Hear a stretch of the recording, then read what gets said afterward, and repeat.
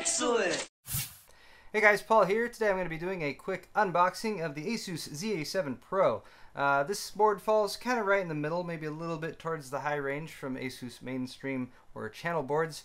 Uh, it's for, of course, the Z87 chipset and the new uh, Haswell or Intel 4th generation core processor. Uh, today is just going to be a quick unboxing as well as some specs. So let's just jump right in. We're taking a look at the retail box. This is the Z87-Pro, which means it's based on the Z87 chipset. Uh, supports two-way SLI, three-way Crossfire X. Uh, it also has four-way optimization. That's dual intelligent processors, the TPU and the EPU. Uh, this is going to be something I might uh, look into in a future video. Uh, TPU and EPU listed right there, of course, for uh, overclocking as well as energy savings. Uh, you also have ultimate cool and quiet technology as well as ASUS Wi-Fi Go which is pretty cool.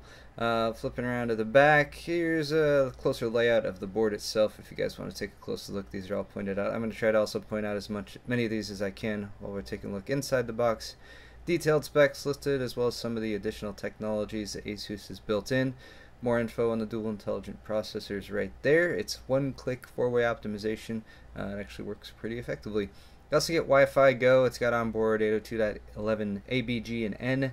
Uh, you can use that along with the ASUS uh, software to set up some pretty cool Wi-Fi and streaming technologies like making your computer into a router.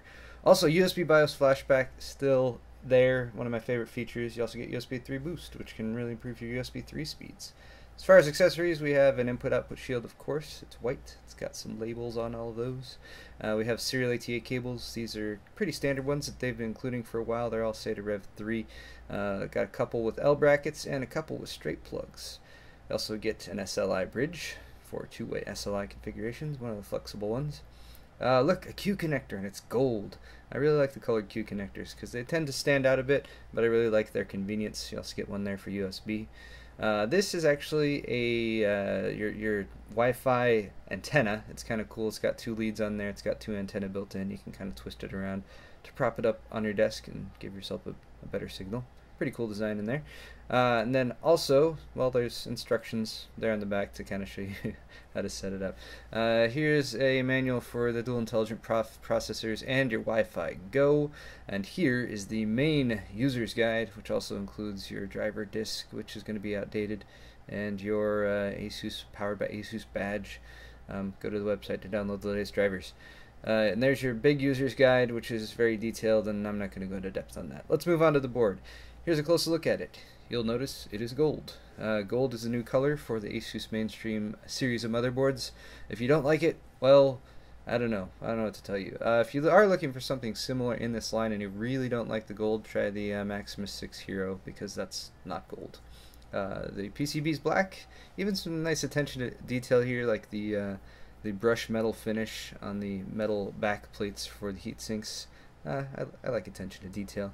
Uh, apart from that, gold heat sinks, of course, sort of uh, yellow gold slots for all the DIMMs and uh, everything else, and pretty much pretty much black and gold throughout.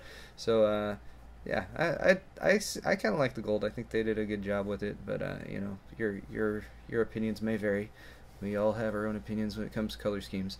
Uh, but look, let's take a look at the bottom of the board because there's a bunch of connectivity down there in the lower right. There's a uh, front panel connectors. Next to that, you get a chassis fan. Above there, the EPU and TPU switches. Uh, so those are going to enable different modes for EPU and TPU, stage 1 and 2. Uh, this is something I might jump into and uh, do some more in-depth coverage on. If you guys do want to see that, let me know in the comments. You also got uh, clear CMOS jumper right there. And above the uh, the front panel connectors, there's a direct uh, a direct key header, and uh, JJ's tip for that was to connect it over to your reset switch. So You can use that uh, your reset button on your computer to go directly into your UEFI pretty quick. Uh, but anyway, moving along from there, you have a chassis fan header. All the chassis fan headers on this board are 4 pin, 4 USB 2.0 to get all that connectivity up and going. USB BIOS flashback key as well as LED, uh, Q code LED, uh, also a surface mounted power switch right there, Thunderbolt header, front panel connector, and SPDIF out, and then finally trusted platform module header on the left. For PCI Express, you got plenty of connectivity. You got four X1 slots, the little short ones there. You also got three X16 slots. Uh, you get 16 PCI Express 3.0 lanes from Haswell, so you're going to run an X16 on the top slot, uh, X8 and X8 if you're going with slot 2 and slot 5, and then X8, X8, X4 if you're going uh, 2, 5, and 7.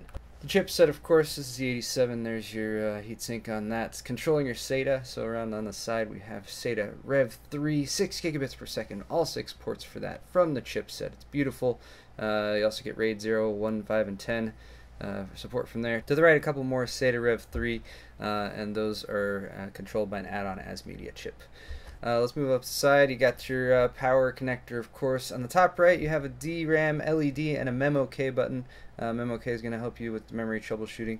Memory slots right next to that. DDR3 dual channel and uh, yeah, supports up to 32 gigs and overclock speeds up to uh, 2800 and even beyond. Uh, above the memory, there's a pretty cool little feature for your CPU fan header I wanted to point out really quick. Um, it's the fact that it's it's got an extra little tab in there. What that tab's going to do is if you plug in a 3-pin header connector, it'll uh, treat it as a 3-pin. If you plug in a 4-pin PWM, the tab will recognize that and will automatically set your fans to PWM mode, which is a really cool little feature. Nice little little thing that ASUS has come up with. Uh, moving on to the CPU, the socket 1150 for your Haswell processor. You'll notice some attractive uh, heat, I'm sorry, power delivery elements there under the gold heat sinks. Uh, your chokes and your caps, MOSFETs are under the heat sinks. Uh, really high quality components ASUS has used throughout this board, and uh, there's just a close up look along with the heat sinks. Finally, for uh, I.O. on the back, you have a PS2 port combo for mouse or keyboard. You also have uh, six more USB 3.0 ports, all of the blue ones that you see there. Wi-Fi antenna hookups right next to that. Uh, video outs for your iGPU, HDMI, DisplayPort, DVI, and uh, VGA. Also an optical toslink out. Your Intel NIC. And then, of course, all your analog audio connections on the right for your Realtek ALC 1150 8-channel high-def audio.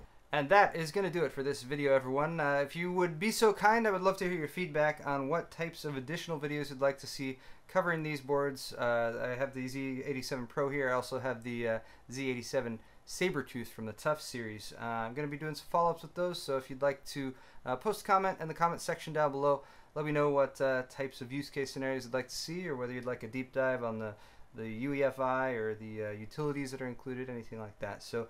Uh, leave your comments. That's all for this video, though. I'm going to go ahead and start packing, and uh, I guess we'll see you in Taiwan. Yeah.